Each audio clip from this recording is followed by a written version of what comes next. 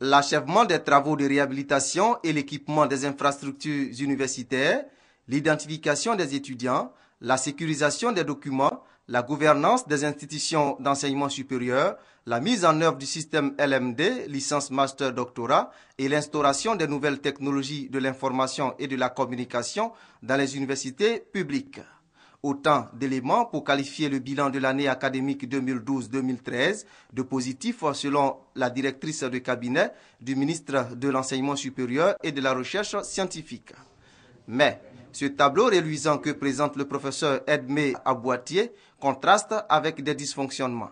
Le nombre d'étudiants admis à s'inscrire est inférieur à ceux qui sont dans les fichiers des universités.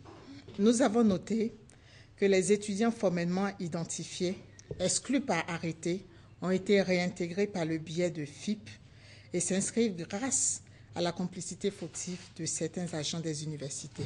Il a été indiqué aux universités que les 1856 étudiants qui sont exclus par une décision d'arrêté, l'arrêté numéro 254, MESRES, DGS, du 30 juillet 2012, sont censés n'avoir jamais pu s'inscrire et doivent être retirés des fichiers.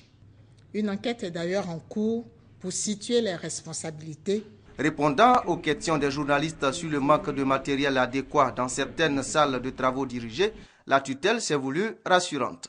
La commande a été énorme. Les équipements sont là.